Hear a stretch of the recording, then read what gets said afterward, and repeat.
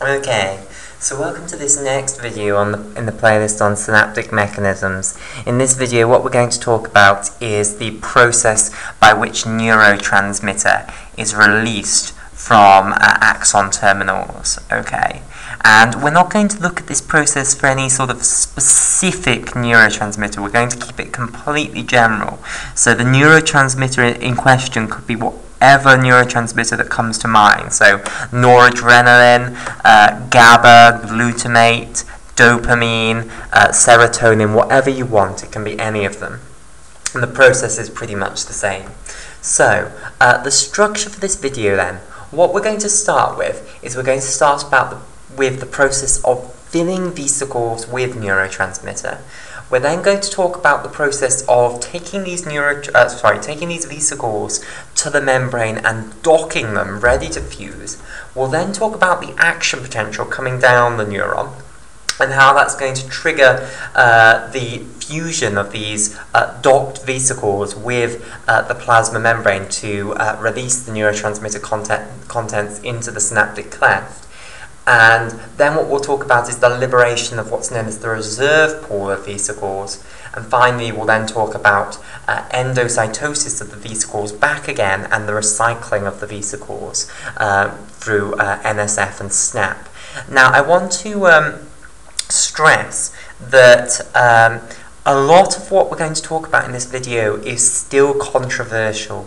Uh, well, some of it's very, very solid, um, and the communities will all agree on it. But there are other portions that we're going to talk about where they are theories. They are theories that have got weight behind them, but they are not uh, rock solid fact yet. And in 10 years' time, this video may be very, very wrong, basically, is what I want to say. Uh, there will be elements that I hope will still be true, uh, but there are other bits that may well be wrong. Okay, but they, they are theories that uh, make sense and are nice models. And in the end, all science is, is models for nature. Um, nature has a true way of doing things. We're building models for that, basically. And this is a model that I'm going to present to you that has some, uh, has weight behind it. There are a lot of people who believe in it. Okay, right. Uh, so, uh, we're going to begin then uh, with the filling of vesicles. So, let's have our axon terminal here. So let's draw it nice and big. So this is our axon coming along here, and then the axon ends with what we know is called an axon terminal, which will synapse onto the next cell, basically. And uh, this axon terminal, when an action potential arrives along the axon and stimulates the axon terminal, what's going to happen is the axon terminal is going to start releasing neurotransmitter. And that's what this entire video is about. How does that occur? So, what we're going to start with is how do we get neurotransmitter into vesicles? So basically what's happening is vesicles are arriving along the axon, basically. So here comes a vesicle. So vesicles are transported along the axon from the cell body, which is somewhere over there, basically. I'll draw it tinily in here. So right at the end of the axon, and this is going to look really out of proportion, but at the other end of the axon is the cell body with the dendrites on here. So here's the cell body of the neuron with these dendrites that I'm drawing here. Okay, and from the cell body, which has the nucleus over here, has come these ax oh, well, these vesicles, sorry, that have come along the axon here. Okay, to the um, axon terminal right at the end here. Okay, so the empty vesicles are arriving in the axon terminal from the axon. Now what we want to discuss is how are we going to fill these axon, uh, sorry, these vesicles with neurotransmitter. Well, the neurotransmitter is going to be manufactured in the axon terminal. For this, you require energy generally, so there are a lot of mitochondria in the axon terminal. So I'll draw a mitochondrion here. Okay, so you synthesize the neurotransmitter in the axon terminal, let's just denote it here as NT, and we now want to get it into the uh, vesicle basically. So how does this occur? Well, it occurs by a process of secondary active transport. So if I draw the vesicle out bigger here, okay, so basically in the membrane of the vesicle, okay, there is something known as the VATPase. So this is the V um, is often written like this. VATPase, which stands for vesicular ATPase. So this is the vesicular, or sometimes vacu vacuolia, vacuola, um, saying that it's in vacuoles, but we'll call it the vesicular ATPase. Okay, and basically what this protein does is it takes in ATP, so in comes ATP here, and it's going to hydrolyze it to ADP and inorganic phosphate. So it's going to hydrolyze ATP, and that hydrolysis of ATP will release energy, and it's going to use that energy that is liberated from the hydrolysis of ATP, it's going to use that to pump a proton from the cytoplasm or from the well from the cytoplasm in this axon terminal into the vesicle. So it's going to pump a proton into the vesicle. So what will overall happen is that you will get a very high concentration of protons within these empty vesicles and it will be much higher basically than the proton concentration in, um, in the cytoplasm of the axon terminal. Okay, now what you can do is you can build um, neurotransmitter transporters. So we'll put this here. Okay, so this is a transporter basically. So here's a transporter, which is going to basically allow one proton to leave the, occasionally it can be more than one proton, but it's going to um, allow protons to leave the uh, vesicle.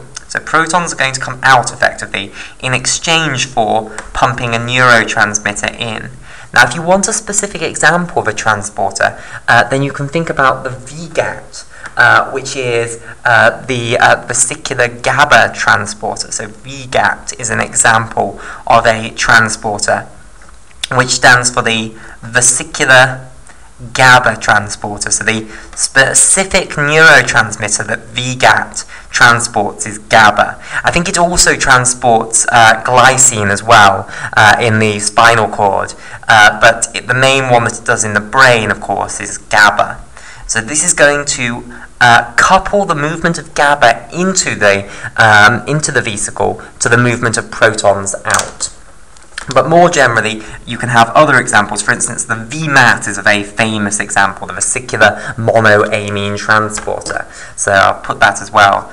VMAT is a very famous example, and um, it transports uh, neurotransmitters such as serotonin, uh, dopamine, and noradrenaline, which are all monoamines. These are vesicular monoamine transporters, and the infamous drug reserpine um, works by mono. No, this isn't right. Monamine, monoamine. Um, the infamous drug um, monoamine transporter. The infamous drug uh, reserpine works by stopping the activity of this VMAT, the vesicular monoamine transporter, and that's how it produces a drop in blood pressure, which is what it was originally being uh, tested for. So I'll just write this down. Reserpine blocks the actions of this monoamine transporter. Okay, and it was originally hoped that this would be a good way of lowering blood pressure, basically. Uh, the problem uh, was that um, it also blocked um, the transport of dopamine, serotonin, and noradrenaline in the brain, basically. So it blocked serotonergic neurotransmission, noradrenergic transmission, and dopamine transmission in the brain. Now, Serotonin and noradrenaline are extremely important in mood, in making you feel happy, basically. Dopamine is extremely important in the reward system. So blocking them makes you feel very bad, basically, and it produce it's a horrendous um, uh, drug that produces depression, basically, and many people who were put on this drug ended up committing suicide. So it's no longer used to treat um, hypertension. Okay, um, but, uh, but it is an example of an interesting pharmacological agent for uh, scientists to use to block this um, transporter. Okay, so these transporters are transporting the neurotransmitter into these uh, vesicles in exchange for moving the protons out, basically. So they're using the proton gradient that is established by this uh, VATPase, this vesicular ATPase, to um, transport their neurotransmitter in. So it's an example, basically, of secondary active transport. Okay, secondary active transport just means that you're using uh, the concentr the um, concentration gradient of an ion to um, to move your um, substance in rather than actually coupling it to the hydrolysis of ATP. So this here, this movement of protons from the cytoplasm into the vesicle is an example of primary active transport. But now we're using we're using the, the fact that this has worked and produced this ion gradient, and now we're going to let the proton go down its ion gradient in exchange for um, moving our neurotransmitter in. So it's secondary active transport, therefore. Okay. Right, so that's how we get our neurotransmitter into the vesicle. Now, once you've got a vesicle that is full of neurotransmitters, so let's draw this vesicle and we will denote the neurotransmitter in red. So we've got this vesicle that's full of this pink neurotransmitter here, and that vesicle now full of neurotransmitter is what's known as a synaptic vesicle. So this is a synaptic vesicle. Now, basically, um, what you now need to do with this synaptic vesicle is you oh whoops it's a bit high up. Uh, what you now need to do is you need to um, get it either well it can go to two different stores of synaptic vesicles. So in axon terminals basically there are two separate stores of synaptic vesicle. There are those which are docked at the membrane. So I'll show these here. They are actually sitting right next to the membrane and are ready to be released. Now, this sort of portion of the neuron here, uh, well, the axon terminal, let me highlight it in pink. So this portion here, this is what's known as the active zone of the uh, axon terminal. So this is the active zone. So these neurotransmitters docked in the active, oh, sorry, these uh, synaptic vesicles docked in the active zone, those are known as the releasable pool of synaptic vesicles. So this is the releasable pool of synaptic vesicles. Okay, so I will colour them in in a moment. Synaptic vesicles. And it's clear why they're called that, because if um, an action potential comes along here, these are the these are the vesicles which you can uh, release instantly. That's why they're known as the releasable pool of synaptic vesicles. So they're all full of their neurotransmitter content, so here in red. Okay, now that's not the only store of vesicles that you have in the axon terminal because you'd quickly run out of space basically for them. There's only a certain amount of membrane in the active zone, so you've only got a certain number of uh, synaptic vesicles that you can dock onto this uh, active zone membrane. So instead, what you end up having to do is store some in the cytoplasm of the axon terminal. Okay, so we'll make this a storage center for them over here as well. Now these ones that aren't docked to the membrane of the active zone, but are instead stored further back uh, in the axon terminal, these are referred to as the reserve pool. Okay, so this is the reserve pool. Now, um, I will just briefly talk about how you store uh, synaptic vesicles in the reserve pool, and then we'll talk a lot about how you store them in the re releasable pool of synaptic vesicles. And by the way, the releasable pool of synaptic vesicles is sometimes even, it's got even a more uh, longer title. Sometimes it's even referred to as the readily releasable um, pool of synaptic vesicles. The reason being that this reserve pool is releasable, as we're going to see, what will happen is when you get an action potential arriving here, you will instantly release the readily releasable vesicle pool. And then what will happen is you'll start moving the re reserve pool into um, well, they'll move towards the active zone basically. Once these ones have all fused, then you're going to bring more in to fuse basically, and they'll come from the reserve pool. So the reserve pool will be released uh, when an action potential comes about potentially. Okay, so it's not as though these are the only ones that will be released. They are the ones that will be released the quickest, certainly, uh, which is why they're readily releasable. Uh, but the reserve pool can be released. Okay, so um, I just want to talk briefly about uh, how the reserve pool is structured. What are these uh, reserve pool synaptic vesicles actually being stored on, basically? Well, in the um, axon terminal, you have a lot of cytoskeletal proteins, and the key cytoskeletal protein that we're going to be um, we're going to be interested in is going to be actin. So let's say in green here, this is an actin filament. And of course, you won't just have one. It will be a meshwork. You'll have loads of them. This is the cytoskeleton.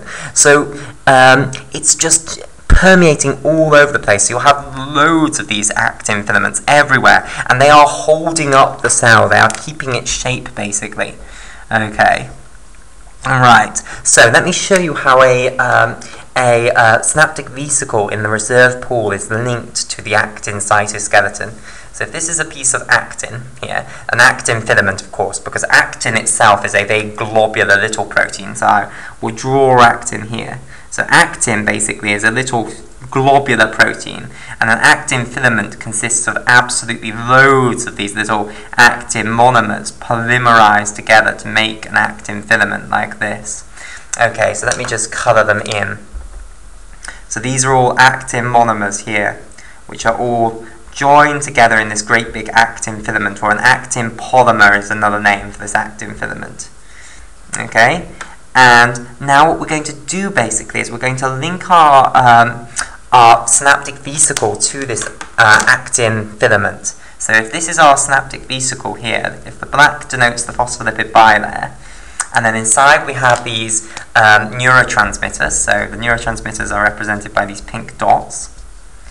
Okay, then basically what you have is a protein known as synapsin. Synapsin here. So this protein is known as a synapsin. Synapsin. Okay, and synapsin basically has one domain where it can bind to actin filaments. Okay, so it's bound to actin filaments. And then on the other side, it will bind to the phospholipid bilayer of a synaptic vesicle. So this is a synaptic vesicle here.